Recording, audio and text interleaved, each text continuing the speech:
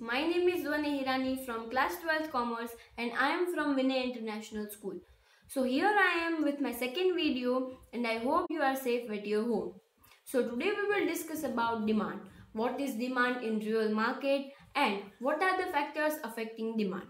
We will not go in detail about anything. I will just give you some idea of concept and I will give you some examples which you can connect with your real life.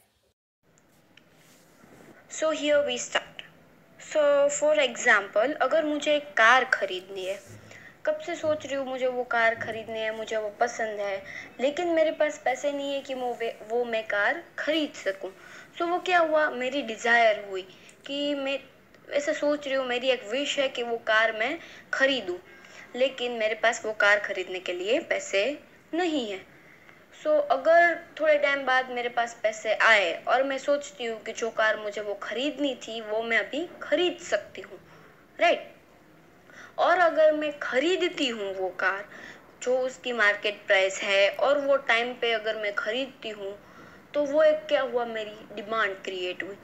जो अगर मैं सोच रही थी जो सोच रही थी मैं कि वो कार मुझे चाहिए वो मेरी डिज़ायर थी।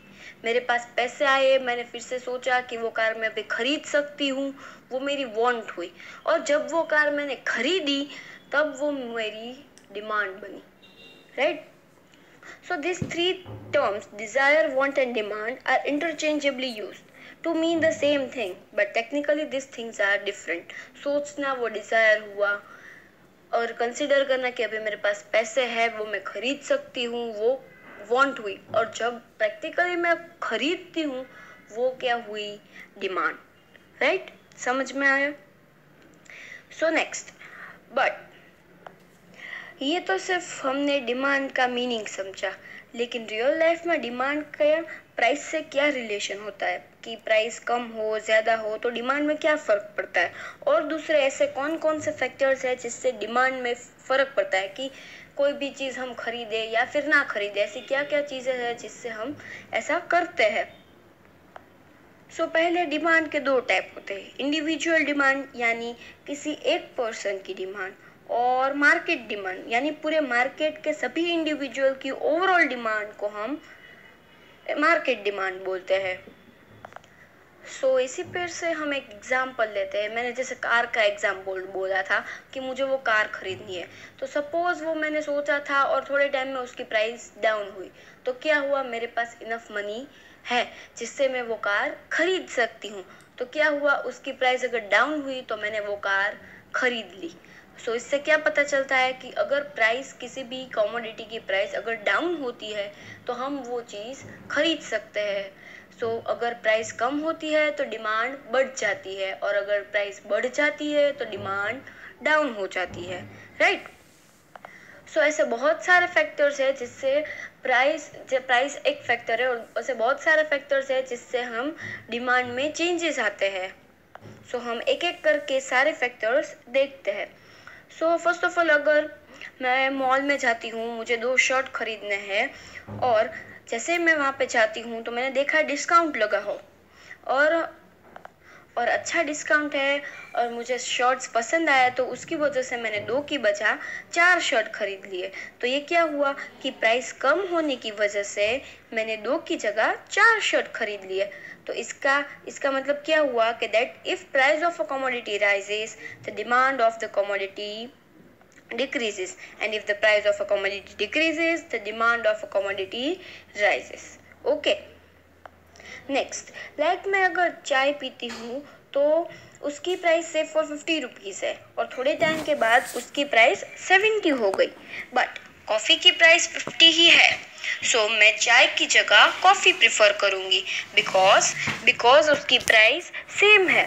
तो ये है प्राइस ऑफ़ रिलेटेड गुड्स मतलब कोई भी चीज़ हम अगर एक दूसरे की जगह यूज़ कर सकते हैं तो उसे सब्सिट्यूट गुड बोलते हैं।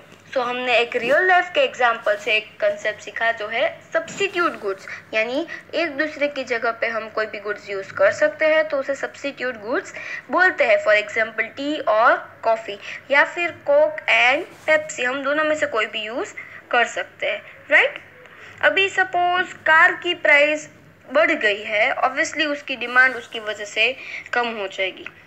Right because there is inverse relation between price and quantity demanded of a commodity so because of that car अगर कम सेल होगी तो साइमल्टेनियसली पेट्रोल की डिमांड भी कम हो जाएगी क्योंकि कार नहीं चलेगी तो पेट्रोल की उसमें क्या ज़रूरत होगी? सो so, इससे हमें पता चलता है कि अगर एक चीज़ की डिमांड एक चीज़ की प्राइस बढ़ जाती है तो उसके साथ यूज़ होने वाली जो चीज़ होती है डिमांड कम हो जाती है। तो इससे हमने न्यू कॉन्सेप्ट देखा, जो है कॉम्प्लीमेंट्री गुड्स यानी कि the things which we use together to get satisfaction for example car and petrol ये दोनों हम एक साथ यूज़ करते हैं। कार के बिना पेट्रोल चलता नहीं है। And second example is pen and ink pen को चलाने के लिए हमें इंक की ज़रूरत है राइट सो मूविंग फॉरवर्ड अगर समझो किसी भी इंसान की इनकम बढ़ गई लाइक like पहले मैं सपोज़ मेरी इनकम ट्वेंटी थाउज़ेंड थी और अभी मेरी इनकम फिफ्टी थाउज़ेंड हो गई तो इससे क्या हुआ पहले मैं नॉर्मल पैकेट में टी आती थी टी लीव्स जो आते थे, वो मैं यूज़ करती थी। लेकिन अगर अभी मेरी इनकम बढ़ गई है तो मैं सभी चीज़ों पे थोड़ा ज़्यादा स्पेंड कर सकती हूँ। तो मैंने टी लीव्स वाला जो पैकेट है, जो अनब्रांडेड है, उसकी जगह पर मैंने टी बैग्स यूज़ करने स्टार्ट कर दिए राइट तो पहले क्या था, मेरी इनकम कम थी। तो जो टी पैकेट था, जो टी लीव्स का पैकेट था, वो मेरे लिए नॉर्मल गुड थे। लेकिन अभी जब मैं टी बैग्स यूज़ करने लगी तो वो पैकेट मेरे लिए इन्फीरियर गुड होने लगा। इन्फीरियर यानी कम। तो हमारी इनकम से भी किसी भी चीज़ के डिमांड पर इफ़ेक्ट पड़ता है। Okay now next about taste and preferences of a consumer मतलब सपोज़ पहले मैं कोई अनब्रांडेड फेस क्रीम यूज़ करती थी लेकिन जब मेरी फ्रेंड ने मुझे बोला कि फेयर एंड लवली एक अच्छा क्रीम है और उससे बहुत अच्छी स्किन हो जाती है तो मैंने वो यूज़ करना स्टार्ट कर दिया। सो so, इससे क्या हुआ कि फेयर एंड लवली की डिमांड बढ़ गई because I change my taste to taste that cream so इससे uh, भी डिमांड में फ़र्क पड़ता है। तो ये हमारी नॉर्मल थिंग्स है जो हम रेगुलर लाइफ में करते हैं, जिससे हमें पता चलता है कि इससे भी डिमांड की डिमांड चेंज होती है। ना नेक्स्ट अगर मेरी फैमिली में किसी के मैरिज है so I am planning to take necklace gold necklace but अभी मुझे लगा कि थोड़े टाइम में प्राइस गोल्ड के कम होने वाले हैं। तो थोड़े दिन में रुक जाऊँगी कि जब प्राइस कम हो, तब मैं वो नेकलेस खरीदूँ। क्यों? क्योंकि I am a rational consumer मैं ज़्यादा प्राइस देना प्रेफर करती नहीं हूँ। क्यों? क्योंकि अगर प्राइस अगर कम होने वाली है तो सेम चीज़ के लिए हम ज़्यादा क्यों पे करें? Right so I will wait for few days जब उसकी प्राइस कम हो, तब मैं लूँगी। So, here means if we accept that price will be low in future, so we won't buy it at that time उसकी डिमांड कम हो जाती है और उल्टा भी हो सकता है कि अभी कम है प्राइस और फ्यूचर में ज़्यादा हो जाएगी तो हम उसी समय खरीद लेंगे राइट तो उससे डिमांड बढ़ भी सकती है और कम भी हो सकती है। समझ में आया? नेक्स्ट नेक्स्ट पॉइंट एकदम सिंपल है। लाइक like, अगर पॉपुलेशन ज़्यादा है अगर हमारे कंट्री में पॉपुलेशन ज़्यादा है तो ऑब्वियसली चीज़ों की ज़्यादा ज़रूरत पड़ेगी डिमांड चीज़ों की ज़्यादा बढ़ेगी और अगर पॉपुलेशन कम है तो उसकी डिमांड कम होगी as simple as that right next last but not the least अगर समर सीज़न चल रहा है बहुत गर्मी है अभी समर चल रहा है तो अभी मैं स्वेटर पहनना प्रेफर नहीं करूँगी। क्यों? क्योंकि उससे मुझे गर्मी होती है।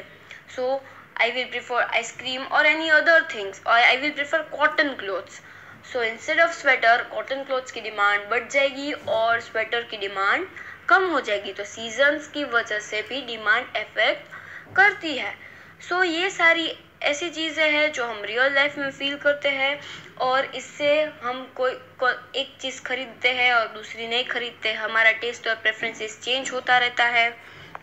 सो so, ये सारे पॉइंट्स थे लाइक प्राइस है रिलेटेड गुड्स की प्राइस है इनकम है या फिर टेस्ट एंड प्रेफरेंसेस है या फिर अगर प्राइस फ्यूचर में बढ़ गई या तो कम हो गई, या फिर किसी भी कंट्री की पॉपुलेशन है, या फिर कोई सीज़न और क्लाइमेट है, ये सारी ऐसी चीज़ें हैं जो अगर उसमें कुछ चेंज आए तो उसका डायरेक्ट इफ़ेक्ट डिमांड पे पड़ता है।